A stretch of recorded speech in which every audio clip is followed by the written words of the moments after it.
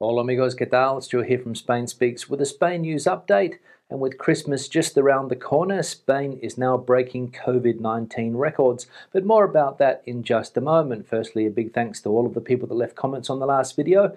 Lots of comments, lots of debate happening there as usual.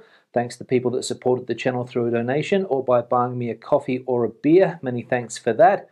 Thanks to people that bought merchandise, and a big thanks to my patrons on Patreon for your ongoing support. Now, let's get into the news. And as I said, unfortunately, a few days out from Christmas, and Spain is breaking COVID 19 infection records. As we can see here, Spain reports the highest number of cases in a single day of the entire pandemic with 49,823 infections. Coronavirus infections on Tuesday reached the highest number so far in the pandemic. A total of 49,823 cases have been reported in the last day, while the incidence has again shot up 86 points and occupancy in intensive care units continues to grow 15.77%. Catalonia is restoring the curfew, closing nightlife and limiting social gatherings, and more and more autonomous communities are urging to take measures to prevent transmission just a few days before Christmas. The incidence rate reached 695.38 points compared to 609.38 last Monday. The autonomous communities with the highest rate continued to be Navarra with 1,488 points, followed by the Basque Country with 1,183 positive cases per 100,000 inhabitants, and Aragon with 1,019 points. So daily coronavirus infections here in Spain basically out of control. And yesterday, as we saw in the article, reaching the highest number since the pandemic began. So, the question is which age group is being affected the most by the increase in cases? Well, COVID infection rates are soaring amongst the 20 somethings, currently the age group with the highest incidence rate. The sixth wave of COVID 19 and the arrival of the Omicron variant in Spain have accelerated infections in the population aged between 20 and 29 years, which now exceed the incidence among children under 12 years of age, the age group that since mid September has recorded the highest number of accumulated cases as it is the only one without authorized vaccination. According to experts, this trend is due both to the lower penetration of vaccines among 20 year olds and to their greater degree of social interaction. The incidents in this age group on Monday, according to data published by the Ministry of Health, exceeded 854 cases per 100,000 inhabitants in the last 14 days, already above the nearly 777 cases of children under 12 who only last week could begin to be vaccinated in Spain. So, COVID 19 spreading through the 20 to 29 age group like an Australian bushfire. Now, we all know that Spanish politicians have been reluctant to deal with the increase in cases here in Spain, unlike its neighbour to the west, Portugal, who yesterday said that they were bringing forward and tightening restrictions against coronavirus for example, the closure of nightlife and compulsory teleworking. The Portuguese government decided yesterday to bring forward the restrictions it had planned for January in view of the progress of the fifth wave of COVID infections and announced tougher measures for Christmas celebrations,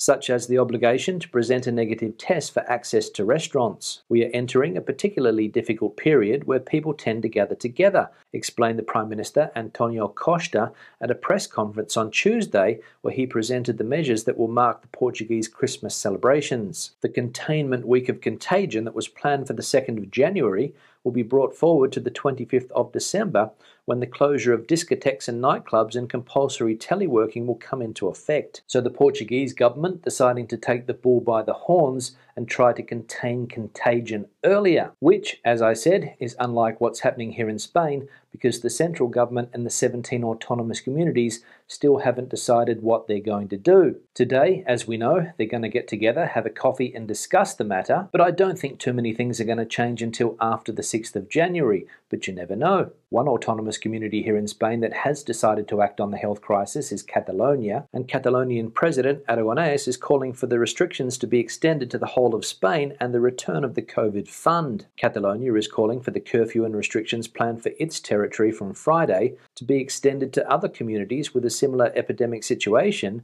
to ensure the success of the measures and to tackle the sixth wave of the spread of the Omicron variant of the coronavirus. The president of the Generalitat, Pere Aragonés, also asked the central government to recover the COVID funds. We will start 2022 with a pandemic, but without funds. They are absolutely essential and all the communities want them, he lamented on the eve of the Conference of Presidents to be held this Wednesday. The head of the Catalan executive defended that not acting would be reckless in the face of the increase in contagions and called for a joint response. Now let's have a look at a summary of the health situation in Spain and we can see that accumulated incidence rate just under the 700 mark. Hospital pressure is currently at 6.1% and there are 7,634 COVID patients hospitalised around the country and ICU pressure is now high and sitting at 15.8% and there are 1,472 COVID patients, unfortunately, in ICU. Now, today, the 22nd of December, is the day of the Spanish Christmas lottery, but a couple of drug dealers in the autonomous community of Murcia decided to set up a raffle of their own. But a Spanish drug raid thwarted raffle of Christmas narco basket. Spanish police have arrested two suspected drug dealers who were raffling off a Christmas basket containing cocaine, hashish, alcohol, and a leg of cured ham, they said on Tuesday. Officers discovered the unusual lottery when they raided a drug den allegedly operated by the two men, a Spaniard and an Argentinian, in the eastern city of Murcia, the police said in a statement, without adding when the arrest took place. On the wall, they found a list of clients taking part in two raffles to win a narco basket, one on Christmas Day and the other on Epiphany on the 6th of January, a major holiday in Spain, it added. The basket included cocaine, hashish, tobacco, cash, and even an 8 kilo cured ham, police said. So the narco basket Christmas hamper for the druggies down there in Murcia, and I bet a lot of them weren't after the drugs, but for that cured ham. Now, a lot of foreigners that have lived and worked in Spain have come to the conclusion that Spaniards don't live to work, but they work to live. But the question is, how much time does Spain spend working? A graph produced by Our World in Data, a project that shows changes in living conditions around the world, shows that Spaniards spend an average of 176 minutes a day working, just under three hours. This result can be explained by the fact that the researchers have carried out the study by counting all people of working age, that is, the population between 16 and 64 years of age, regardless of whether they are working, studying, or unemployed. In addition, the authors of the scheme have used various surveys produced by the Organisation for Economic Cooperation and Development to explain how each country spends its time. The results show a significant disparity in working hours between world regions. For example, China and Mexico top the table with 315 and 302 minutes respectively. Far behind are Greece, Spain, France, and Italy with 187, 176, 170, and 149 minutes respectively. And if we have a look at the graph on exactly how do people spend their time, we can see the countries where people spend the most time working China, Mexico, South Korea, Austria, India, Canada, and at the other end of the scale, Belgium, Greece, Spain, France, and Italy. So, according to that survey, work to live here in Spain and not the other way around. Viva España! Now let's have a look at some of the comments from previous videos. One here from John. Hi, Ola Stuart, having just discovered your great videos and thank you. I am planning to leave Melbourne, Australia in February for Malaga, travel around for a few months, of course watching what's changing because of COVID, so your program is great help. Thanks again. Yeah, John, thanks for the comment. Glad you liked the videos and welcome to the community. And good luck with your trip to Spain in February. Of course, you have to take advantage of the Australian borders being open because, as we know, they were closed for a long time. And there are lots of people in Australia, like yourself, that are eager to get on a plane again, travel overseas, and see what's happening in the rest of the world. So good luck. I hope all goes well with your travels down there in Malaga. And February, March, April, a fantastic time to visit that part of Spain. One here from Quinn just cancelled my trip to Spain, was leaving on Thursday, had a layover in the UK on my way home. Too many hoops to go through too many things that could go wrong. And if they do shut down things, wasn't really a point to go. Hope to go in summer. Yeah, Quinn, thanks for the comment and sorry to see that you have had to cancel your trip to Spain. And you're right, for some, there are just too many hoops that you have to go through. But as we have seen, the last two summers during the pandemic, the summer of 2020 and the summer of 2021, things seem to get back to normal and people are allowed to travel around. So let's hope things are not different in the summer of 2022. One here from Steve, looking forward to getting back to Spain on the 18th of February for three weeks down to Mojácar. It's a beautiful part of Spain. We have stayed there many times and love the village of Turre. Yes, Steve, thanks for the comment and what a wonderful part of Spain Almeria is. In fact, it is now one of my favourite parts of the country after my recent visit there. I didn't make it to Mojácar, of course, because I was in the area of San Jose on the Cabo de Gata, but people tell me that the old part of Mojácar is a sight to see. So good luck with your trip and enjoy that wonderful Mediterranean weather and the fantastic fresh seafood. One here from Jose Antonio. I didn't know Elver for baby eel.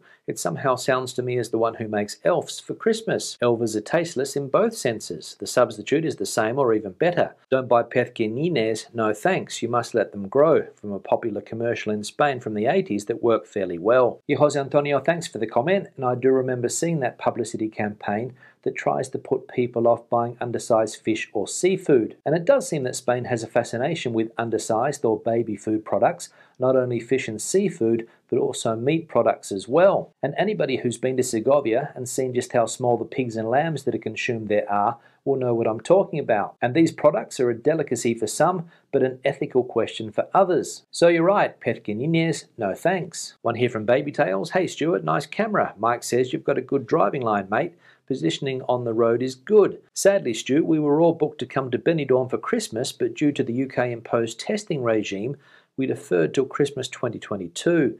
Workers sadly can't afford to isolate, unable to work awaiting backlog PCR test results.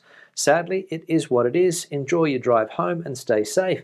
Hasta luego. Your baby tails, thanks for the comment and thanks for the compliment on my driving. I like to think that I'm a good driver, although my girlfriend would disagree. And in all the years that I've been driving here, I haven't once got a ticket. Touch wood. And sorry to see that your trip to Benidorm has been postponed until Christmas 2022, but as you said, it is what it is. And unfortunately for the Spanish tourism sector, a lot of other people also cancelling their trips to Spain. And finally, one here from Malcolm Crystal Clear Pics due Good choice of GoPro. Yeah, Malcolm, thanks for the comment, and I am also impressed by the quality of the image from the GoPro. And in that first video that I uploaded yesterday, the images were crystal clear, even though they weren't in 4K. I recorded the video in 4K, I edited the video in 4K, but I forgot to change the settings and it rendered in 1080. But the second video I published yesterday when I spoke about my COVID 19 experience was in 4K, so I hope you could spot the difference. On that note, I'll wrap the video up. Questions and comments, please leave them in the section below. Debate the video out as you normally do. Give it a thumbs up if you liked it, thumbs down if you didn't. I'll see you in the next one. Hasta luego.